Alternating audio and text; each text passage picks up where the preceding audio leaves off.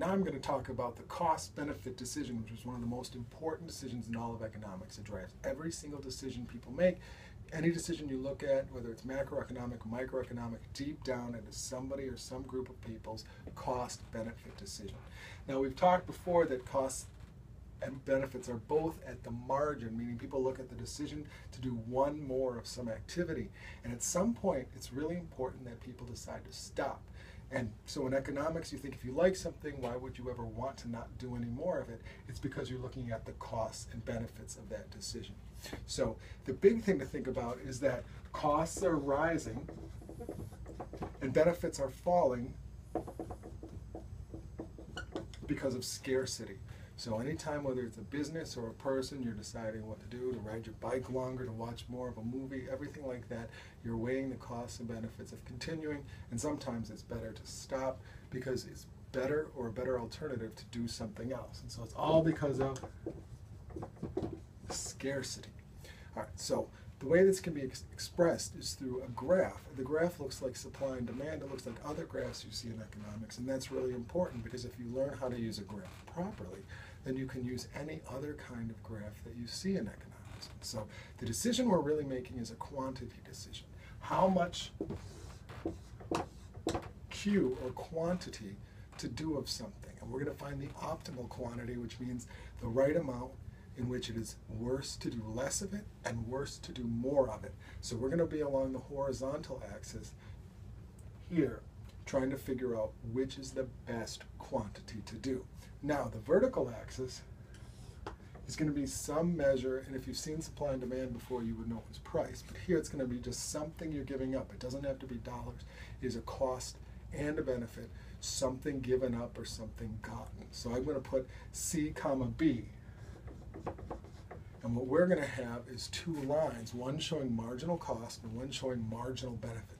Now when I talk about the production function, when I talk about the PPF, and how labor, capital, and land go into production. I'm going to actually show an example of how the, the numbers give us falling benefits and rising costs. And in fact, you can show that the benefits and costs are inverses of each other. But right now, I'm going to say that it's a simple negative relationship or downward sloping relationship for benefits and an upward sloping or positive relationship for costs. So why is that? Well, first of all, if you think of any activity, and the one I always think of is watching Netflix, if you could stream a whole show online, why wouldn't you watch as many episodes as you could? When do you go to bed? When do you stop watching? And it has to do with scarcity. You only have so many hours, and every hour spent watching TV, it means you're not sleeping, means you could be tired the next day, it means that you're not having dinner, you could be hungry. Even though the marginal cost is zero, you do not pay extra money to subscribe to the next episode of a show. It's already paid. It's free monetarily. Even though the marginal cost monetarily is zero, you are giving up other alternatives to watch one more episode. So it's costly. The marginal cost is rising. You watch one episode, two episodes, three episodes. By episode four, it's midnight. You have to get up for school the next day. It's going to cost you to watch more episodes in terms of something else you could be doing. And so the more you watch, the more you're giving up of other opportunities. Now, benefits are falling too. You can watch seven, eight, nine episodes of a show. At some point, your brain just can't absorb it. Your brain space is scarce. And so you might not enjoy episode 10 as much as you enjoyed episode 9. And so diminishing marginal returns catch, in set in. And so we sometimes talk about diminishing returns. The technical phrase is diminishing marginal returns. So we have increasing marginal costs, decreasing marginal benefits. Now, this is important in economics. This crossing point is the equilibrium point. Equilibrium means balance. Here, costs and benefits are balanced. And right here is the quantity, oftentimes given Q star for equilibrium quantity. This is the right amount of the activity to do. It could be production decision. A firm wants to build more buildings or hire more workers or make more of the thing it makes. Could be your activity, how many hours of sleep to get or how much TV to watch, whatever it is. This is the amount you do, and it's costly to do more and it's costly to do less. Now, exceeding this quantity means you're doing too much. If you're over here, marginal cost is greater than marginal benefit.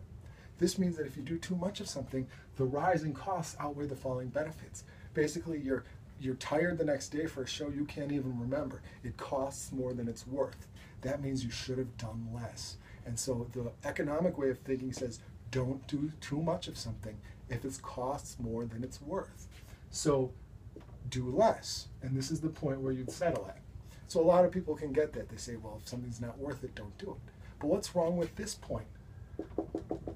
Right here, if you're underdoing something good, that means you're not doing enough of something that is beneficial to you. Here you have high benefits and low costs. You're not doing as well as you could. You could be doing better if you do more of things that are worth it. So here you're doing something that's low cost and high benefits. You're hurting yourself by not doing more of it.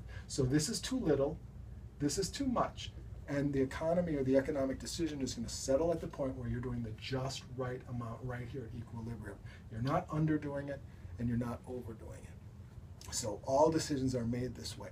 People decide when to stop doing something based on a cost benefit decision. And other times they decide to do more based on a cost benefit decision. Now, what happens if a situation changes? This is something that we're going to see is that what if this is just your situation at one point in time? What if costs or benefits change on a given day? So, for example, if you have a big test the next day, you might find that not getting enough sleep could raise your costs.